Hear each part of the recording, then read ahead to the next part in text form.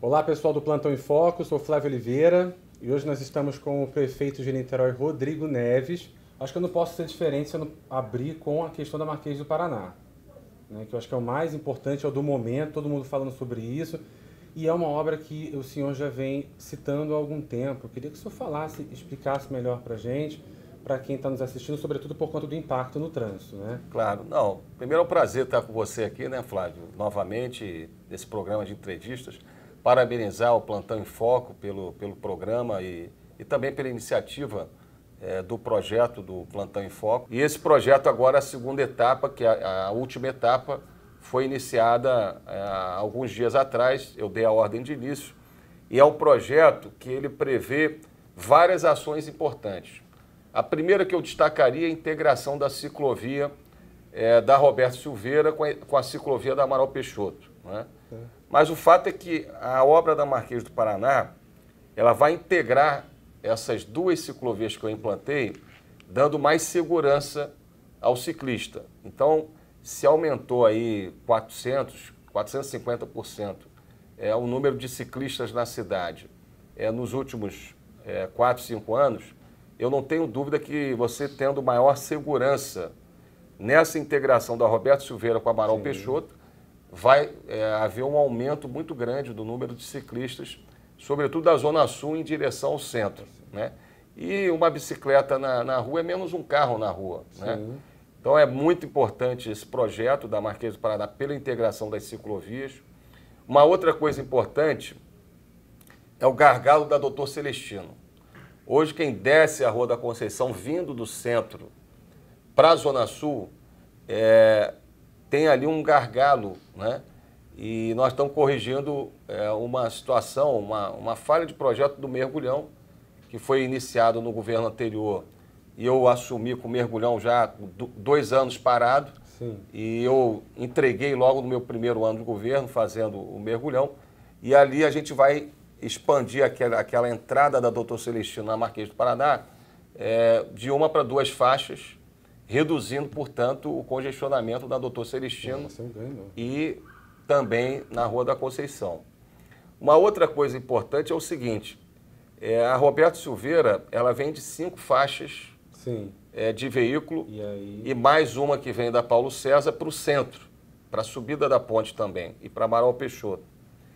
E aí quando chega em frente ao Antônio Pedro, essas seis faixas viram três. Então você tem um funil ali em frente ao Antônio Pedro. Com essa expansão da Marquês do Paraná, é, nós vamos ganhar mais uma faixa para cada lado da via e vamos reduzir aquele funil e vamos fazer também uma outra coisa muito importante, que é deslocar nessa obra da Marquês do, do Paraná é, a obra, a, a, o ponto de ônibus em frente ao Antônio Pedro, para cima do mergulhão Ângela Fernandes. Hum. E vamos ter ali sobre o mergulhão um ponto de ônibus, deslocando esse ponto de ônibus de frente do Antônio Pedro para cima do mergulhão. É, pode melhorar? Pode. Eu acho que essa obra é, da Marquês do Paraná está muito evidente. Ela vai ajudar muito. Muito. Agora, tem outras ações que eu considero importantes. Eu conversei com o governador recentemente. É, tem que ter uma solução para a estação do catamarã de Charitas. Então, eu acredito que com a nova gestão do governo do Estado, a gente vai conseguir chegar a um bom termo. É, ainda no segundo semestre, eu estou muito otimista em termos um acordo é, para viabilizar é, uma tarifa mais acessível no catamarã de Charitas. E aí, com isso, a gente vai melhorando a mobilidade, a circulação na cidade. Em relação a. a acabou que a gente entrou no, no, na questão em relação à ponte, o senhor também já já já já está em, em, conversa sobre isso, sobre a questão das obras, porque isso vai afetar bastante, principalmente na parte da manhã, Roberto Silveira, Arena Marquês. Olha, eh, se for necessário, nós vamos fazer igual nós fizemos sobre a estação de Catabarã de Charitas, que não era previsto uma tarifa acessível na nova licitação é, no governo anterior, no governo do Pezão, e a gente fez uma ação é, na Justiça, na agência reguladora, questionando esse edital. É, e nós vamos fazer a mesma coisa. Não é possível é, implementar um projeto na cidade do Rio, desconsiderando o fluxo de 3, 4 milhões de habitantes Exatamente. do lado de cá da Baía de Guanabara, de Niterói, São Gonçalo, Itaboraí, Maricá. Então, é, evidentemente que não é possível é, desconsiderar isso. É, a, a, cidade do Rio vai receber uma obra que é aquela alça para a linha vermelha, que vai melhorar o fluxo na ponte. Sim. Agora, essa melhoria seria anulada, totalmente anulada e prejudicada, se é, desenvolverem um projeto sem considerar o lado de cá da Bahia na chegada ao Rio de Janeiro. Né?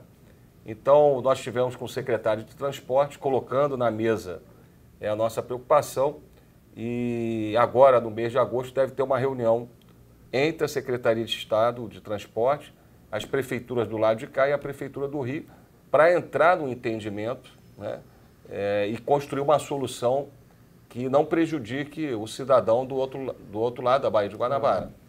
E aí eu queria fugir um pouquinho dessa questão da cidade e enquanto Rodrigo Neves gestor, mas é puxar para o lado sociólogo, progressista, né? É, nesses últimos anos, acho que, enfim, sua vida passou por uma, um processo enorme de altos e baixos e o Brasil também. Né? E, e, é justamente nesse ponto que eu queria chegar. Como é que você enxerga o Brasil daqui a alguns anos, o Estado do Rio de Janeiro e o Brasil, com uma sociedade extremamente polarizada né? e que isso eh, nós estamos acompanhando as filiações partidárias e aí a gente percebe que isso não vai diminuir, que isso está aumentando. Né? Há uma competitividade muito grande por, uh, uh, por diferentes formas de pensar. Como é que se enxerga essa sociedade polarizada, considerando que ano que vem é ano de eleição municipal? É, eu sou um democrata é, por muita convicção e às vezes a imprensa é injusta, às vezes a imprensa, é, na verdade, é, na minha opinião, não tem todos os cuidados necessários antes de fazer uma avaliação, uma matéria. É, mas a imprensa é muito necessária, né? porque ela diverte, ela faz a crítica construtiva. Eu vou lhe falar, durante esses sete anos, é, foram vários os momentos é, que é, a atuação de vocês, jornalistas, a atuação da imprensa, fez a diferença no sentido de chamar atenção para determinados aspectos é, da administração ou da cidade que a gente pode e deve melhorar. Não é?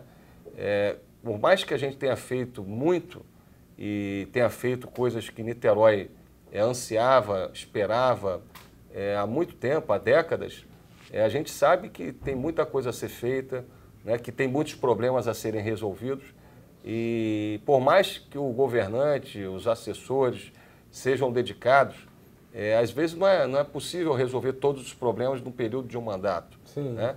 Mas a observação da imprensa é muito importante. Então, a liberdade de imprensa é muito importante.